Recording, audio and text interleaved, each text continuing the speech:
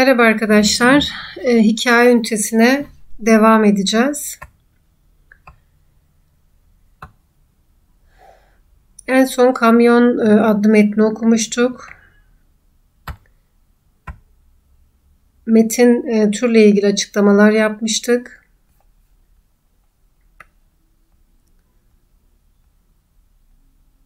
Cumhuriyet döneminde hikayeye gelmiştik. 1923 1940 arası Cumhuriyet döneminde hikayenin genel özellikleri üzerinde e, duracağız.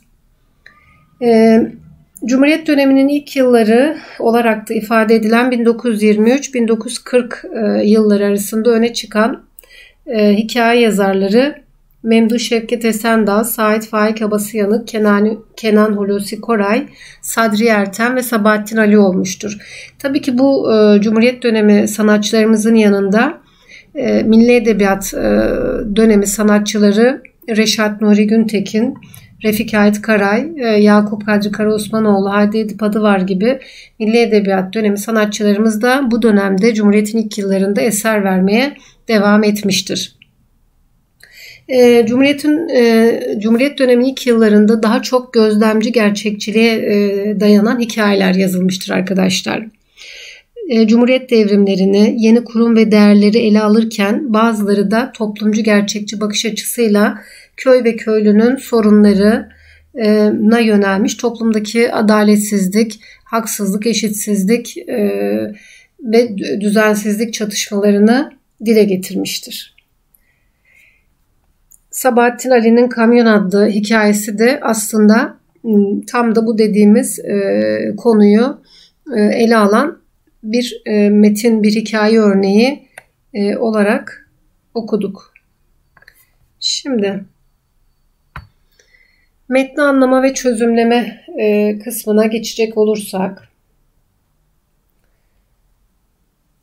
sorulara bir bakalım arkadaşlar. Araba İzmir'e gelince şoför yolcuları selamet demeden evvel nedense yol parasının üstünü toplamak adetindeydi. Cümlesindeki altı çizili kelimenin anlamını cümlenin bağlamından hareketle tahmin ediniz demiş. Tahmininizi doğruluğunu kaynaklardan yararlanarak kontrol ediniz.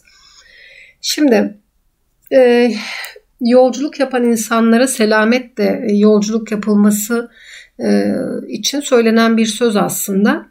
Ee, yani hayırla varmaları için gidecekleri yere hayırla kazasız belasız gitmeleri e, gitmeleri doğrultusunda gidecekleri yer hayırla varmaları için söylenen bir söz diye e, düşünebiliriz selametlemeden sözünü.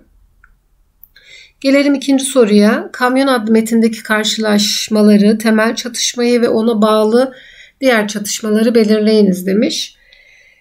E, temel çatışmaları fakirlikten para kazanmak uğruna gurbete yola çıkan ve bu uğurda canın e, canından olan delikanlının e, davranışları ve kamyoncunun tavırları diyebiliriz. E, delikanlının bakkalın oğlundan akıl alması, yol parasının birazını verip kalanı bırakması temel aslında çatışmayı oluşturan unsurlar diyebiliriz.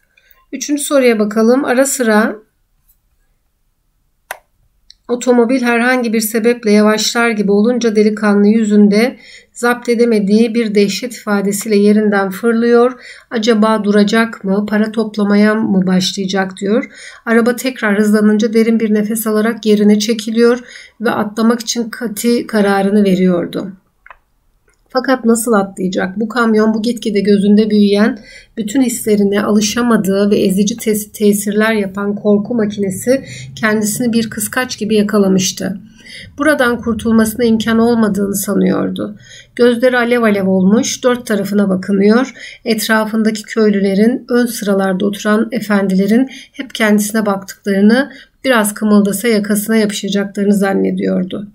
Alnından yanaklarına doğru terler akıyor ve şakaklarındaki ayva tüylerini ıslatıyordu. Bu parçadan hareketle kahramanın ruh haliyle zaman ve mekan arasındaki ilişkiyi açıklayınız demiş. Ee, yani şöyle e, kahramanın delikanlının yani ruh halini e, parasızlığın vermiş olduğu sıkışmışlığı, çaresizliği bir kamyon kasasında yaşamaktadır. E, aslında bu mekanla e, kahramanımızın yaşadığı duygu birbirine paraleldir diyebiliriz. Seçilen bu küçük mekan onun yani delikanlının ruhi sıkışmışlığını da ifade etmektedir tedirgin e, hareketleriyle hatta diğer yolcuların bile e, davranışlarını e, yanlış yorumlamaktadır. Gelelim dördüncü soruya. Metinde e, yaza, metinde yazara özgü dil ve anlatım özelliklerini belirleyiniz demiş. E, bu belirlemede cümle yapıları, deyimler, kelime kadrosu, akıcılık, nesnellik, öznellik, duygusallık, coşkunluk gibi hususları dikkate e, alınız demiş. Şimdi yazar e, betimlemelere sıkça yer vermiş, e, kısa cümleler e, kullanarak e, okuyucunun e, sıkılmasına da engel olmuş. E, kişileri de bulunduğu çevreye, bulundukları yöreye ait bir e, ağızla konuşturmuş ve onları da aynı şekilde tasvir etmiş. Gayet yalın, açık, anlaşılır bir e, dil kullanmıştır. Deyimlere de sıkça yer vermiştir diyebiliriz arkadaşlar. Evet, metinle ilgili beğeni, tespit ve eleştirilerinizi gerekçelendirerek ifade ediniz demiş. E, metni e, çok beğendim ben. E, özellikle anlatımın e, akıcı olması, e, seçilen konunun e, yaşamla, hayatla, gerçek yaşantıyla e, doğrudan e, ilişkili olması e, aslında ve metnin de e, çok sonunun çok çarpıcı bir şekilde bitmesi de e, metni e, beğenmemi sağlayan unsurlardan arkadaşlar. Peki metnin olay örgüsünü aşağıdaki tabloya yazınız e, demiş. Aslında şöyle diyebiliriz. Mesela e, delikanlının e, işte çiftçi olan babasının mahsullerinin para etmeyince para, para etmeyince geçim derdine düşmesi, geçim derdine düşmeleri ve delikanlının da çözüm olarak İzmir'e fabrikada çalışmak için babasından izin alması, sonra da yol parasını e, tedarik etmeye çalışması ama bulamayınca da bakkalın oğluna daha önce muavinlik yapan bakkalın oğluna rastlaması ve ondan bir işte akıl alması o akılda neydi arkadaşlar? E, işte önce yarım lirayı verirsin sonra da e, paranın geri kalanını e, toplamadan İzmir'e yaklaşınca atlarsın demiş. İşte delikanlının e, korkudan, heyecandan, araba durmadan e, atlaması ve uçurumdan yuvarlanması şeklinde olay örgüsünü belirleyebiliriz, söyleyebiliriz bu şekilde. Gelelim birinci etkinliğe Kamyon adlı metindeki baş kahramanın fiziksel ve psikolojik özelliklerini belirleyiniz demiş. Şimdi baş kahramanın e, fiziksel e, özelliklerine e, ne diyebiliriz? Esmer, uzun boylu, e, sırım gibi ince, e, e, ince bir boydan bahsediyor. Bir e, delikanlıdan bahsediyor. Fiziksel özelliklerini bunları söyleyebiliriz. Ruhsal özelliklerini ise işte parasızlık ve fakirlik yüzünden köşeye sıkışmış, e, çaresiz kalmış e, ve bu durumun e, yaşattığı eziklik içerisinde tedirgin ve korku içerisinde olması şeklinde böyle bir ruh hali içerisinde olduğunu söyleyebiliriz arkadaşlar. Belirlediğiniz özelliklerin olay akışını etkileyip etkilemediğini tartışınız demiş. Yani e, tabii ki bu e, delikanlının yaşadığı ruhsal, e, ruhi e, sıkıntı, e, işte korku, tedirginlik e, tabii ki olay akışını etkilemiştir. E, ruhsal durumu verdiği korkuyla ve o heyecanla e, mesela araba durmadan ne yapmıştır? E, uçuruma atlamış ve yuvarlanmıştır. Yani böyle bir ruh hali içerisinde olmasaydı daha e, temkinli, daha işte sabırlı davranmış olsaydı belki sonuç bu şekilde olmayacaktı. Geçiyoruz şimdi.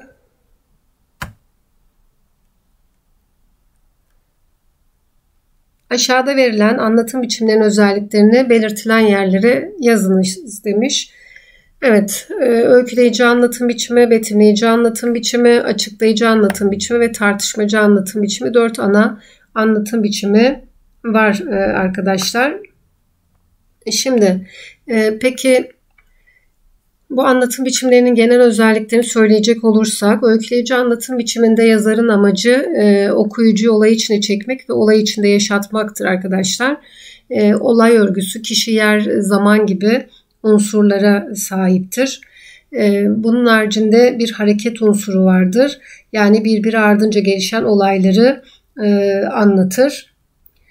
E, olaylar e, anlatıcının bakış açısından yani bu ilahi bakış açısı olabilir. E, ondan sonra gözlemci bakış açısı olabilir. Kahraman anlatıcının bakış açısı olabilir. E, bir anlatıcının bakış açısından yansıtılır. E, daha çok mesela öyküleyici anlatım biçimini sanatsal türler tercih eder. Hikaye, roman, anı, söyleşi gibi türlerde tercih edebilir. Ne demiştik? Olay örgüsü, kişi, yer, zaman gibi temel unsurları, yapı unsurları vardır öyküleyici anlatım biçiminde. Gelelim betimleyici anlatım biçimine. Betimleyici anlatım biçiminde de yazarın amacı aslında izlenim kazandırmaktır okuyucuya e, kelimelerle e, resim çizdirir bir nevi. Gözünün önünde bir tablo canlanır e, ve her işte o yazıyı okuduğumuz zaman o tablo tamamlanır diyebiliriz. Betimleyici anlatım biçiminde başka ne diyebiliriz? Mesela sıfatlara çok fazla yer verilir betimleyici anlatım biçiminde. Aynı zamanda kahramanların fiziki ve ruhsal durumları da betimlenir diyebiliriz. Peki bunun haricinde tartışmacı anlatım, açıklayıcı anlatım biçiminde ise e, daha çok öğretici türlerin seçtiği bir anlatım biçimidir. Açıklayıcı anlatım biçimi e, temel amaç nedir arkadaşlar? Okuyucuya bilgi vermektir. Okuyucuya e, herhangi bir konuyla ilgili bilgilendirmektir.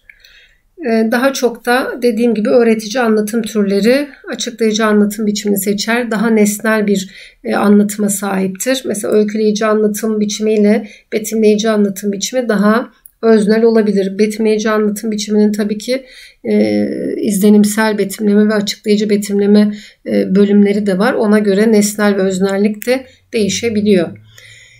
Tartışmacı anlatım biçimi ise arkadaşlar daha çok yazarın e, bir konuyla ilgili e, düşüncelerini e, düşüncelerini okuyucuyu da çekmesi, kendi tarafına çekmesi ve okuyucuyu inandırması şeklinde açıklayabiliriz tartışmacı anlatım biçiminde. Dil daha çok hem açıklayıcı anlatım biçiminde hem tartışmacı anlatım biçiminde dil göndergesel işlevde olur gereksiz e, ifadelere yer verilmez. Daha nesnel bir anlatım tercih edilir. Sanatsal anlatım türleri olan betim, öyküleyici ve betimleyici anlatım biçiminde ise e, sanatsal dil e, şiirsel işleviyle yani diğer adıyla sanatsal işleviyle kullanılır. Peki e, Kamyon adlı metinde hangi anlatım biçimleri e, kullanılmıştır diye e, sormuş sormuşlar. E, ne diyebiliriz arkadaşlar? Sonuçta kamyon bir e, adlı metin hikaye türünden oluşmuş bir metin. O zaman e, tabii ki öyküleyici anlatım biçimi ve betimleyici anlatım biçimini tercih etmiştir diyebiliriz. E,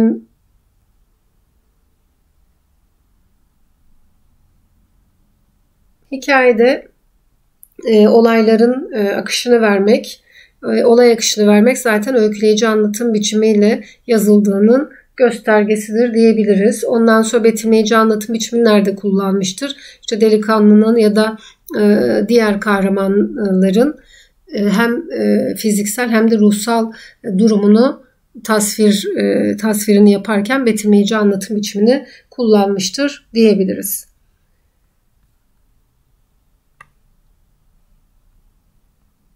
Evet, Sabahattin Ali biyografisi Gümülcine'de doğmuş.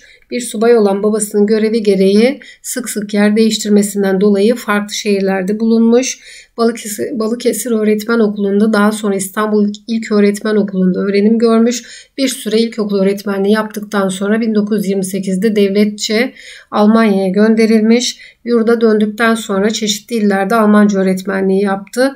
Ee, devlet konservatöründe çalıştı. Sabahattin Ali Cumhuriyet döneminin başlarında toplumcu gerçekçi anlayışta hikaye, roman ve şiir türünde eserler verdi. Olay hikayesi geleneğini kendine özgü farklı bir tarzda sürdürdü. Cumhuriyet'in ilk yıllarında edebiyatta görülen köye ve köylü yaşamına sorunlarına yöneliş Sabahattin Ali'nin eserlerinde önemli bir yer tuttu.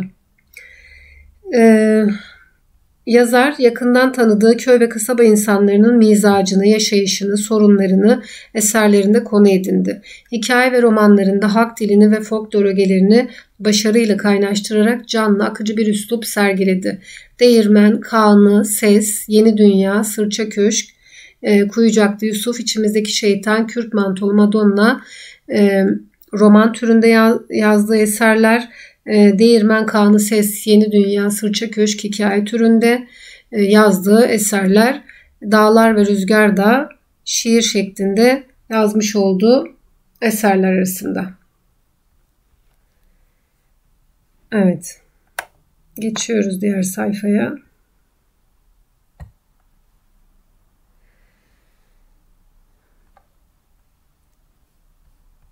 Şimdi hazırlık e, bölümüne geçeceğiz. İnsanların olayları abartarak anlatmalarının ne gibi sonuçlar doğurabileceğini tartışınız demiş.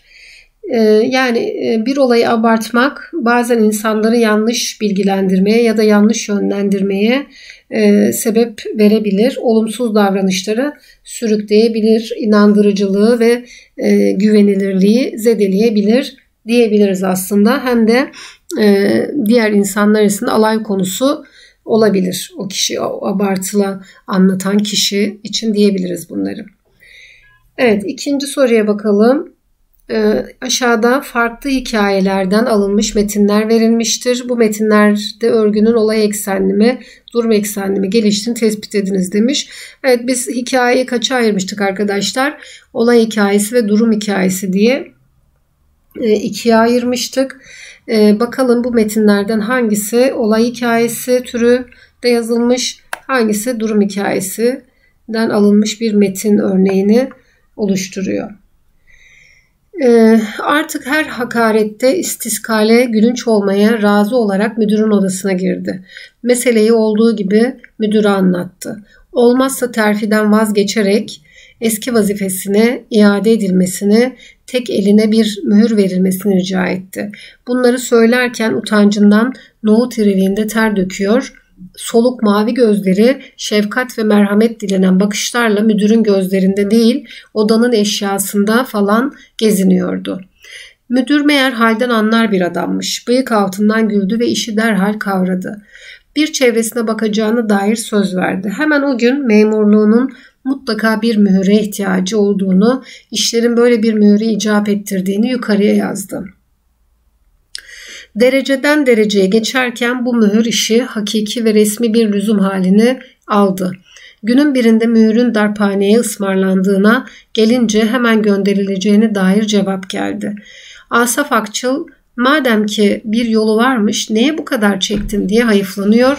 Karısına her gün yeminlerle teminat veriyor ve günleri iple çekiyordu. Çok geçmeden mühür bir kez kese e, içinde postadan çıkıp Asaf Akçıl'ın imdadına yetişti. Bu tabii kullanılmamış yepyeni bir mühürdü. Evet bir de diğer metni okuyalım.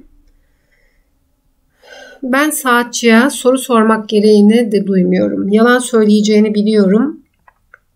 İşler nasıl ustam desem gözlüklerinin üstünden kuşkuyla bakar bana. Kim bu herif? Neden soruşturup duruyor? Vergimi arttırmak için mi gönderdiler bunu diye düşünür. Kötü kötü der ne soracağım ona. Evli olduğunu, çocuğu olmadığını, çocuk istemediğini de biliyorum. Ee, bütün uyanık düş görenler gibi o da az bencildir. Dükkanın içini göreceğim de ne olacak? Duvarlarda durmadan işleyen saatler asılı olduğunu bilmek bana yeter. Adını da bilmek istemiyorum. Soyadıyla dükkan arasındaki zıtlık içimi burkuyor. İzmir fuarındaki sırtlığını düşünüyorum. Kafesinin beton tabanı çepeçevre aşınmış gezinmekten. Aşınan yer kaf- kafesin en uzun yolu adını öğrenmekten korkuyorum. Tabelacının önündeki levhada A nokta yayladan yazılı Ali ya da Ahmet'tir diyorum içimden. Birisine sorsam sormam. Yusuf Atılgan'dan Saatlerin Tıkırtısı adlı hikayesinden alınmış bir metin okuduk şimdi. Şimdi ilk hikaye arkadaşlar bir olay hikayesidir. E, ikinci hikayesi bir durum hikayesidir. Neden olay hikayesidir ilk hikaye? E, çünkü e, başı sonu belli olan bir olaydan e, alınmıştır. Bir olay anlatılmıştır. Yani ikinci hikayesi durum hikayesidir. Çünkü bir olay akışı yoktur. Hayatın içinden bir durum, bir kesit alınmış ve o kesit e, anlatılmıştır bize. O nedenle. Diğer sayfaya geçelim. Şimdi Pazarlık adlı metni okuyacağız. Diğer videoda buna devam edelim arkadaşlar. İyi günler diliyorum. Hoşçakalın.